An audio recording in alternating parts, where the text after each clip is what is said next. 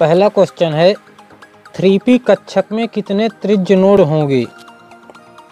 तो दोस्तों, नोड क्या होता है? नोड दो प्रकार के होते हैं। पहला है, गोलीय नोड, इसे त्रिज नोड भी कहते हैं। त्रिज नोड, इसका सूत्र होता है, n minus l minus one. L क्या है? द्विगंशीय क्वांटम संख्या। दूसरा क्या है? अगोली नोड अगोली नोड इसे कोणीय नोड भी कहते हैं। कोणीय नोड बराबर होता है द्विगंशीय क्वांटम संख्या, यानी यल के बराबर। अब हमको देखना है थ्री पी कक्षक में त्रिज्य नोड तो इसका फार्मूला होता है n minus l minus one तो थ्री पी के लिए एन का मान कितना होगा? तीन। माइनस पी कक्षक के लिए यल का मान होता है एक। माइनस एक बराबर आ जाएगा, दो घट जाएगा तीन में तो एक। यानी इसका आंसर सही होगा डी एक। दोस्तों, प्रत्येक पी उपकोष के लिए यल का मान, यानी द्विगंशी क्वांटम संख्या का मान भिन्न भिन्न होता है। कैसे? यहाँ पे लिखते हैं उपकोष यहाँ पे लिखते हैं यल का मान। तो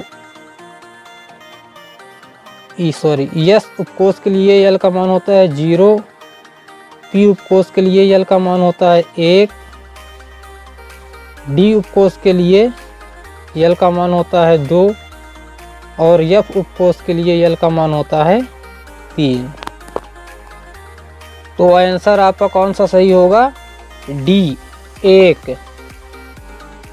दूसरा क्वेश्चन है, फोर डी कक्षक में कितने कोणीय नोड होते हैं?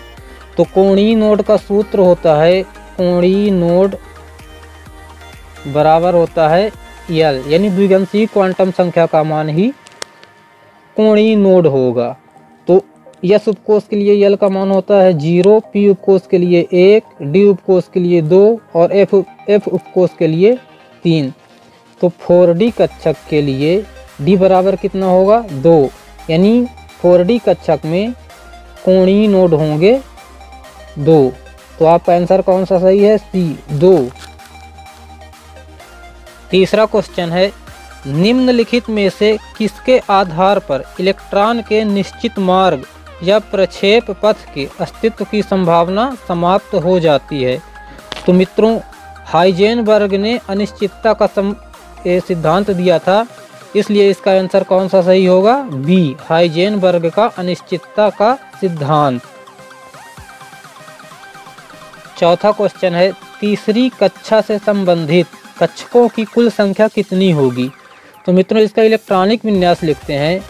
तो वन यस पहली कक्षा हो गई। टू यस टू पी, दूसरी कक्षा हो गई। थ्री एस थ्री पी और थ्री डी ये तीसरी कक्षा हो गई। तो तीसरी कक्षा में कितने कक्षक होंगे?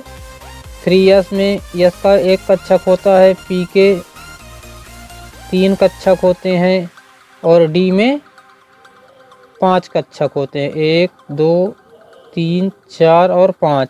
तो कुल कितने हो गए? एक प्लस तीन प्लस पाँच इजक्वल टू नौ। तो ये आपका आंसर होगा नौ। सी नंबर का आंसर आपका सही होगा। पांचवा क्वेश्चन है, समान इलेक्ट्रॉनिक विन्यास वाले आयनों का युग्म कौन सा सही है? तो मित्रों, इसका सही आंसर होगा B F E three plus ion और M N two plus ion कैसे?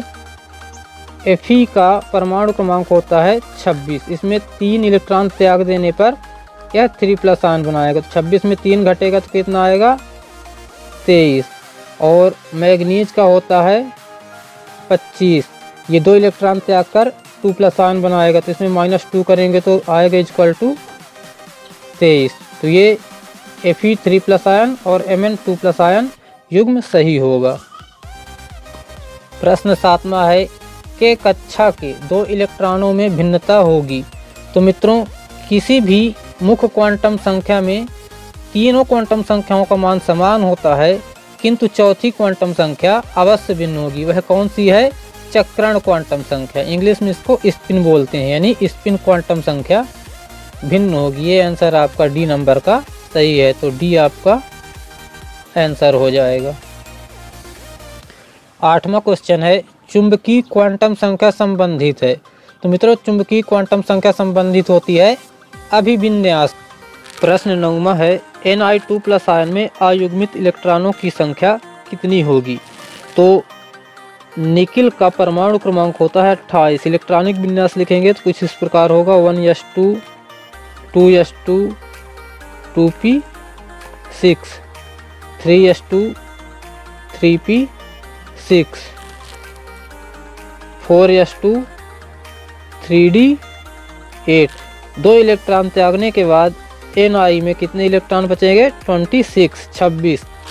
अब इसका इलेक्ट्रॉनिक विन्यास कुछ इस प्रकार होगा। One s two two s two two p six, three s two, three p six. Four s से दो इलेक्ट्रॉन निकल जाएँगे तो बचेगा यहाँ पे थ्री डी एट। अब थ्री डी एट के कक्षक में इलेक्ट्रॉन भर के देखते हैं। डी उपकोष में कितने कक्षक होते हैं? पाँच। एक, दो तीन, चार और पाँच।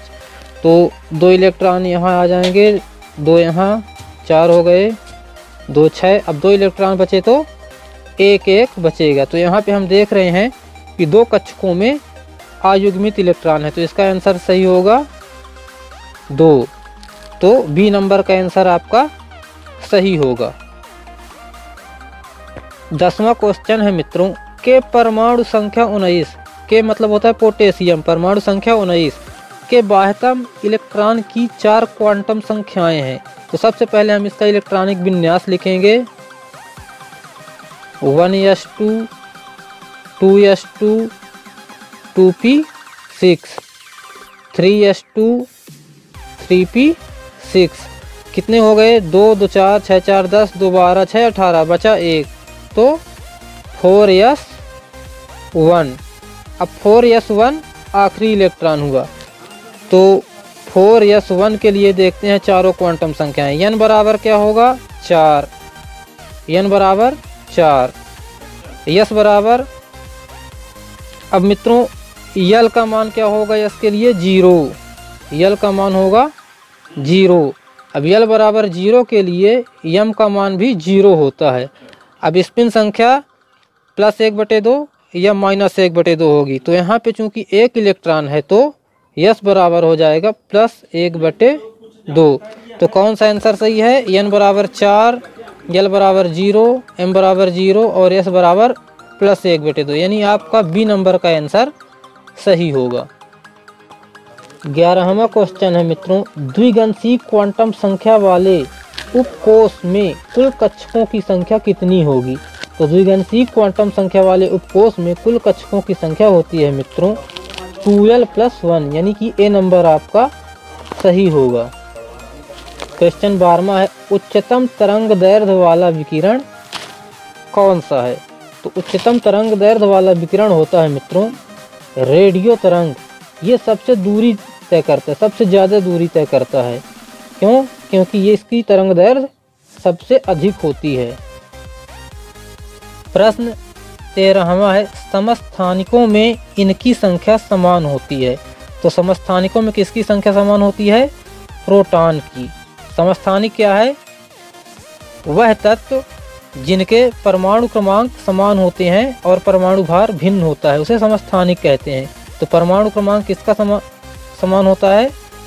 परमाणु क्रमांक क्या है? प्रोटॉन की संख्या परमाणु क्रमांक है। इसलिए समस्थानिकों में संख्या किसकी समान होगी? प्रोटॉन की। ए नंबर सही है। प्रश्न क्रमांक चौदहवा है। एक तेल बूंद पर आवेश छः दशमलव तीन नौ गुणे दस की खाते माइनस उन्नीस गुलाम है। तेल बूंद में कुल इलेक्ट्रॉनों की संख्या है। तो मित्रों, एक इलेक्ट्रॉन पर आवेश होता है।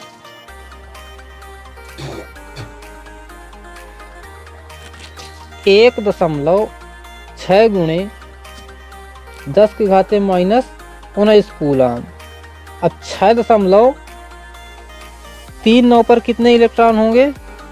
तो छः दशमलव तीन नौ बटे एक दशमलव छ बराबर कितना आएगा? तीन दशमलव नौ नौ। यानी लगभग चार। तो आपका आंसर सही होगा चार। डी नंबर आपका आंसर सही होगा। अगला क्वेश्चन है मित्रों, फोर डी इलेक्ट्रॉन के लिए निम्न में से कौन सा सही क्वांटम संख्याओं का सेट है? तो फोर डी कक्षक के लिए यन बराबर कितना होगा? चार। यल बराबर कितना हो जाएगा? डी डी उपकोष के लिए यल का मान कितना होता है? S p d f s के लिए यल का मान ज़ीरो पी के लिए एक डी के लिए दो और एफ़ के लिए तीन होता है। तो यहाँ डी के लिए यल का मान कितना हो जाएगा? दो। यम बराबर कितना हो जाएगा? एक। और यम बराबर चूँकि एक है, इसलिए यस का मान होगा प्लस एक बटे दो। तो आपका कौन सा आंसर सही है? चार दो एक। चार दो एक और माइनस एक बटे दो। यहाँ पे माइनस एक बटे दो आएगा। आपका डी नंबर का आंसर सही होगा। सोलहवा क्वेश्चन है मित्रों सोडियम परमाणु के अंतिम इलेक्ट्रॉन के लिए द्विगंशी क्वांटम संख्या यल का मान होगा।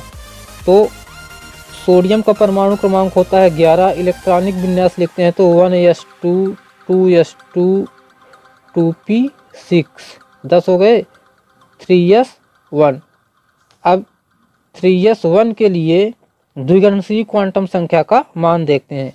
तो यल बराबर यस उपकोष के लिए कितना होता है? ज़ीरो। यानी आपका आंसर क्या होगा? ज़ीरो।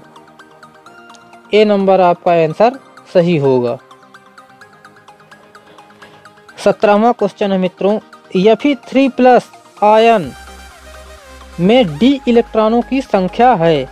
तो एफी का परमाणु क्रमांक होता है 26 अब चूँकि एफी थ्री प्लस है तो इसका मतलब होता है 26 में तीन इलेक्ट्रॉन घट गए। तो कितना आ गया बराबर? 23 अब 23 का इलेक्ट्रॉनिक विन्यास लिख के देखेंगे तो कुछ इस प्रकार होगा। One s two two s two two p six, three s two, three p six. कितने हो गए? दो दो चार छः चार, दस, दो बारह छः अठारह। फोर एस टू, उन्नीस बीस। अब बचा थ्री डी तो बीस तीन तेईस इसमें थ्री आएगा, तीन इलेक्ट्रॉन तो प्रश्न पूछा डी इलेक्ट्रॉनों की संख्या है। तो डी इलेक्ट्रॉन में कुल कितने इलेक्ट्रॉन हैं? तीन। तो इसका आंसर सही होगा, तीन। यानी कि डी नंबर का आप आंसर आपका सही होगा। आपका आंसर प्रश्न बैंक में बी, यानी कि पाँच दिया गया है, जबकि इसका आंसर सही होगा तीन। क्यों? क्योंकि थ्री से पहले फोर एस कक्षक आता है तो इलेक्ट्रॉन पहले फोर एस कक्षक में भरेंगे, इसके बाद थ्री में। और थ्री में तीन इलेक्ट्रॉन बच रहे हैं, इसलिए आंसर थ्री होगा, यानी कि डी नंबर आपका ऑप्शन सही होगा, तीन। अगला क्वेश्चन है परमाणु के उपकक्ष में अधिकतम इलेक्ट्रॉन की संख्या निम्न सूत्र द्वारा निकालते हैं। तो मित्रों, कक्षा अगर है, कक्षा में अधिकतम इलेक्ट्रॉन की संख्या ज्ञात करनी है तो सूत्र होता है टू एन स्क्वायर, जहाँ एन क्या है? कक्षा की संख्या। लेकिन यहाँ पे उपकोष पूछा है। तो उपकोष में अधिकतम इलेक्ट्रॉनों की संख्या ज्ञात करने का सूत्र होता है two into two l plus one. इसको हल करेंगे तो आ जाएगा दो का गुणा दो में होगा तो चार यल प्लस यहाँ पे दो। यानी कि four l plus two D number का ऑप्शन आपका सही होगा। आखिरी क्वेश्चन है मित्रों, प्रकाश विद्युत प्रभाव में निष्कासित इलेक्ट्रॉनों की संख्या प्रयुक्त प्रकाश की तीव्रता के समानुपाती होता है। तो आंसर नंबर सी आपका सही होगा। तीव्रता के समानुपाती होता है।